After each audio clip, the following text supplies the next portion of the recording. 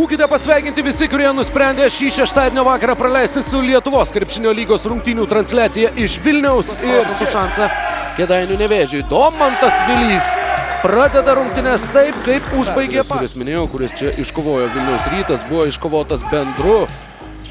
Po šios atakos Arnas Butkevičius dar kartą greitame polime, dar du taškais. taškais. Susitikimo pradžia nevėžiui taip pat nežada nieko gero. Morisas Unduras labai mėgsta žaisti greitai. Šiame sezone Vilniaus rytas ir čia dar viena išprovokuota klaida. Augustas Marčiulionis iki galo 10-3. Ir čia, jeigu nevėžys, yra pataikę tik vieno, dabar jau atsiprašau, du iš penkių metimų iš žaidimo. O čia Domantas Vilys iki galo dar viena pražanga. Ir Imre Diukui čia Vos rytimi. Domantas Vilys, Cedrikui Berfieldui. Ir pataiko iš toli Cedrikas Berfieldas. Pirmą kartą pasirodė aikštėje. Dar pasižiūrėjau į statistikos protokolą, ar tikrai neapsirikau, ar tikrai uh, Radzevičiaus reikalai atsakė Enduras.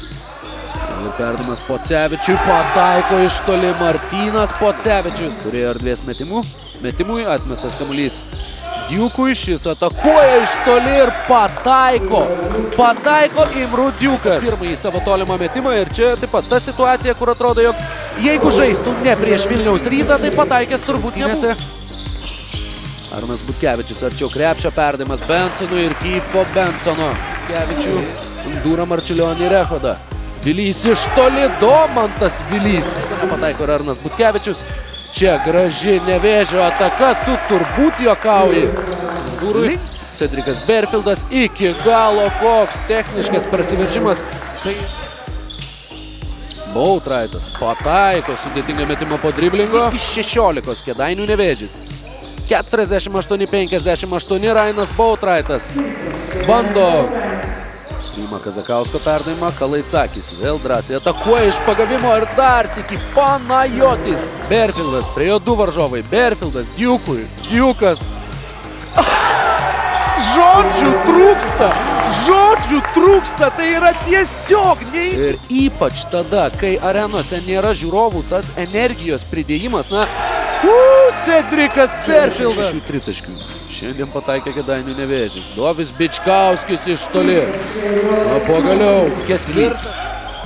Prieš Dovį Bičkauskį arčiau krepšio. Čia tiesiog įkrito kamuolys Kazakauskui. Jis priima teisingą sprendimą. Ir Grantas Vasiliauskas šauna. Kazakauskas. Kedainių Barkley. Ir Cedrikas Berfieldas 27 taškas šis. Vilį su keturiom asmeninėm. Daug klaidinančių judesių. Žingsnelis į šoną, per rankas į veidą. Smeigia tritaškį Andrew Geudalo, kasinių krepšininkas ir Vilniaus rytas. Dabar jau faktiškai laisva pavara galėtų nurėdėti į pakalnę link pergalės, bet to šio sezono ambicijas. Kalaitsakis dar spėja išmesti kamuolį, metimas netaiklus. Penkių taškų skirtumų. Pergalę Vilniuje švenčia rytas ir pratęsė savo pergalių seriją Jeep arenoje žaidžiant Lietuvos krepšinio lygos pirmenybėse. Visi penki laimėti susitikimai čia ir...